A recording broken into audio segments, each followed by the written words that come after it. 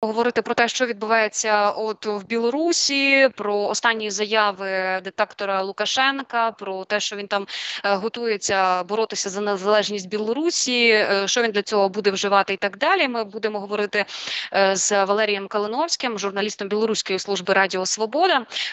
Оцінимо власне останні поїздки до до Путіна Лукашенка, точку таку напруження Калінінград. Постараємося все встигнути встигнути. Моєму вітання. Чи чуєте ефір, пане Валерію? Вітаю, чую вас. Як ви думаєте, от е, Лукашенко заявив, що буде боротися е, за незалежність Білорусі, і якщо е, дивитися на його цю заяву на цитати, він каже: на півдні, маючи на увазі Україну, все тривожно нестабільно. З півночі і з заходу нам теж погрожують, і ми будемо захищатися і боротися за незалежність. На вашу думку, цей захист він якось може перерости у прямий наступ на Україну? Ну, ви знаєте, е, його заява щодо незалежності це така ритуальна заява, тому що 3 липня в Білорусі формально відзначається День Незалежності, День Республіки, і він з цього приводу робить щороку заяви. Єдине, що е, скажімо, зараз якраз співпадає з війною, і тому до цієї риторики додається українська війна. От тобто, його слухати треба звичайно часом. Я навіть так роблю, що якби ці його заяви. Е, навпаки оцінюю. От е, тобто і риторика одне, а справи зовсім інша. Он зовсім інше. Тому не треба поспішати з якимись висновками, тому що це людина не щира. Ніколи він не говорить правду, ніколи не говорить про свої наміри. Ось е, а зараз ну, тим більше і ну фактично про незалежність Білорусі, якщо так говорити на сьогодні, вже дуже важко е, про це говорити, тому що Білорусь є таким відвертим сателітом. Росії е, тут стала країна прохідним двором для російської зброї, російських літаків, ракет, там танків і так далі. Це дуже обмежений суверенітет. Фактично, значить, е, е, країна, як лідер опозиції говорить, перебуває в стані російської військової окупації. От тому і от ми всі ці розуміємо, що що вони в, в військовій і політичній окупації, проте ми бачимо від нового року там 6 чи 7 поїздок Лукашенка до Путіна. Путін е, тисне на Лукашенка і важелів в нього багато. Але, от на вашу думку, що може таким стати спусковим гачком? Е, ну щоб, попри всі там внутрішні настрої е, не вступати в війну, все таки от Лукашенко може вдатися до прямого вторгнення. Ну тут є е, єдине, що якщо з української сторони чи там хтось вдавав, що це з української сторони були якісь е, вдари, чи бомбування, чи якісь ракетне влучення. Лукашенко, зокрема, казав про Мозерський нафтопереробний завод, який є близько кордону з Україною. Казав, що якщо буде, але і тоді він казав, що будуть вдари по Києву, да, але без втручання.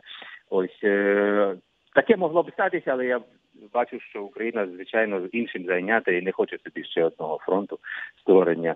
От а інше це все таки, я думаю, більш за все буде риторика на підтримку, значить будь-яка, але словами Путіна е, е, е, підтримка будь-яка, але все таки, скажімо, на території Білорусі військ Путіна. Ось, але до агресії все таки я думаю, не немає дійти, і і немає таких умов, підстав і бажання в народу, і в, і солдат, і в армії. От тобто, да, про це я сказав би, що якщо був був акт агресії, скажімо, проти Білорусі, виправданий чи не виправданий, я б не сказав з території України. Це не важливо, але про це я думаю, все таки важко важко говорити. Ну, ви знаєте, у нас тут не е, не один раз казали, що ми не маємо планів е, як якісь акти агресії вчиняти ні на території Білорусі, ні на території Росії, і ми бачимо повідомлення нашої розвідки про той самий Мозер, про ті самі НПЗ, що Росія готується там ну вчинити теракт. Е, я хотіла б ще з вами повернутися до е, взаємовідносин Путіна і Лукашенка і обговорити, ну можна сказати, чутки, але от вони е, ширяться. От е, про останню поїздку до Путіна Лукашенка, і там в пресі обговорюють е, про те, що Путін під час розмови з Лукашенком м, грюкав дверима, мовляв, там е, поясніть цьому, не буду називати це слово, але от. Е, е, Лукашенко, що він живим звідси не вийде. Як ви думаєте, от Путін е, погрожує Лукашенко прямою фізичною розправою? Ну я цього не виключаю. Ми бачимо, який неадекватний Путін, як він діє, йому нічого не нікого не шкода, і він тут мабуть хотів би щось такого. І я тут немає мене особисто немає сумнівів щодо Путіна. Ось а щодо е, Лукашенка, то він все таки викручується. Ми бачимо, що він викручується п'ятий місяць поспіль. Хоча е, п'ять сім вже візитів, сім розмов, і все це пройшлося про те, щоб все таки якимось чином втрутилося і білоруське військо. От він цього уникнув на на цей момент. А що що що там загрожує, що він каже, ну це ми не знаємо. Ми знаємо, що лише якісь чутки, а офіційно, скажімо, такої інформації, чи не офіційно, взагалі якоїсь такої конкретної інформації немає. Ось тобто, тобто, я думаю, що Лукашенко врешті поки що тримається. Е, добре, були розмови довкола розміщення ядерної зброї. Чи є ознаки якогось такого таких початку таких процесів, чи це просто поки що балачки і погрози? Думаю, балачки і погрози. Е, Якщо е, піти на е, це, щоб сюди до Білорусі трапила ядерна зброя російська, це дуже серйозне порушення всіх яких можливих домовленостей договору про нерозповсюдження і так далі. Це на це Росія піде в останній момент, коли вже буде готуватися до ядерної війни. Але я думаю, що таки ядерна війна це війна, скажімо, більш погрозами, тому що до, до неї ніхто не не скажімо, не перейде. Е, це дуже велика небезпека.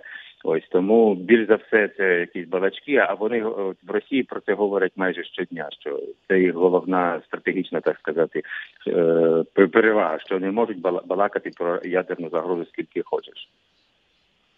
Але е, тим не менше до Білорусі все таки прилітає російська авіація, привозять нові ракетні комплекси. Яке приблизне угруповування військ і техніки зараз от стягується на південь Білорусі до наших кордонів?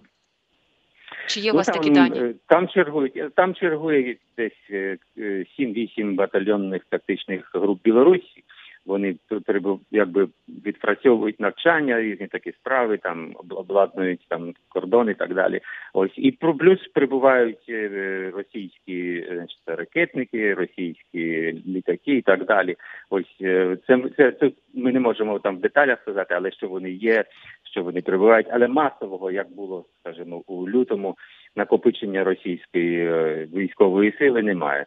Навпаки, є відомості, що з Білорусі вивозять е, різні снаряди, вивозять різні речі, котрі потрібні Росії для боїв на Донбасі. Тобто вивозяться звідси сили ураження, так я розумію.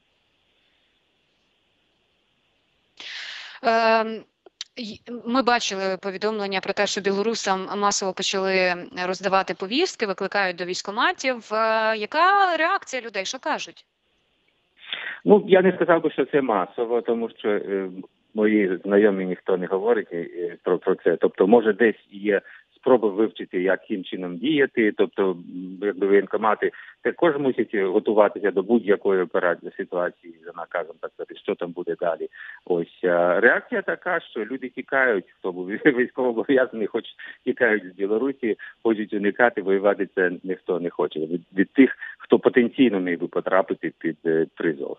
Ось, але масового такого наразі не спостерігається. Але взагалі, от е, ну як е, як населення ем, сприймає ці події, до яких сценаріїв готується? Це дуже тривожна ситуація для Білорусі. Тобто всі всі стежать за тим, що відбувається в Україні, за тим, що з білоруської території також вражають українські міста і ракетами, із літаків, і, і, і що було в. Е, пряме втручання з білоруської території в лютому. Ось це все дуже боляче для білорусів, тому що вони мають і родичів, і зв'язки, і не дуже дуже дружньо налаштовані щодо України. Влада діє навпаки. Лукашенко є фактично е, самопроголошеним президентом. Він не є президентом, обраним на е, вільних виборах. І він цементував довкола себе владу. Вони е, діють так, як їм наказують з Москви. І пропаганда, і міністерство оборони, і різні гілки влади. Всі ці вони діють фактично в руслі російських російської, скажімо так.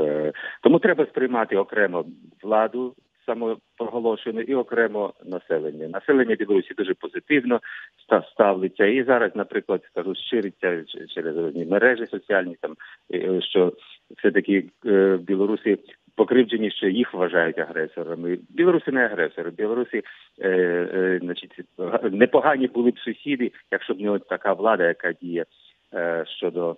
е, Скажімо, тих наказів, які йдуть з Москви, як і Лукашенко фактично як гауляйтер Путіна на території Білорусі. А народ, населення не хочуть війни, не хочуть якихось агресії проти України, не вимагають від України ані якоїсь землі, ані якось інших питань. Немає е, в Білорусі е, як- якихось е, претензій до України. Е, Ще хотіла е, обговорити момент. е, Польща е, добудовує там стіну, заявляють. Також кажуть, що будуть просити е, ну збільшити НАТО військовий контингент на своїй території. Про таку саму необхідність е, от, говорять в країнах Балтії. Ну і крім того, ми бачимо от ще таку одну точку напруження Калінінград.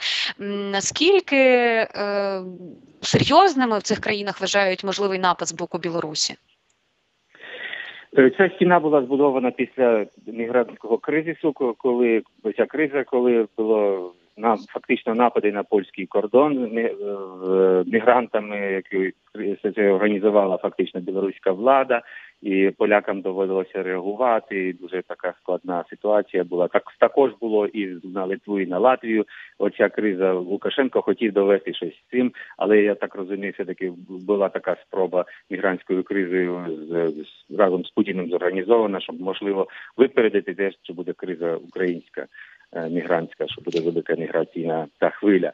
Ось і зараз е, Білорусь фактично е, від відгороджується чи від неї відгороджується як від, як від Росії, і Литва, і, і Польща, і Латвія, і, транспортне сполучення, і все інше. Тобто є напруження продовжується. Може не, не, стільки зараз з Польщею, а скільки з Литвою, тому що ця криза транзитна, заборона Литви на транзит е, через територію Білорусі до Калінінградської області з Росії. Оцей транзит фактично заблоковано, і тут е, якби починають лякати Польщ...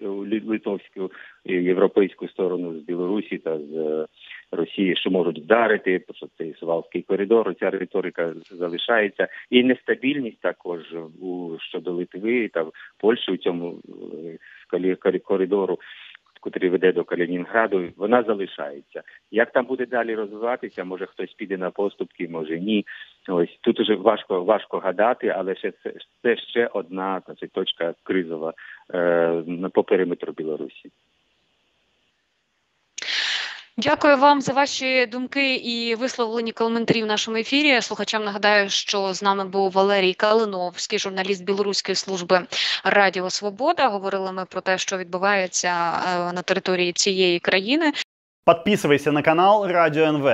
Вот тут.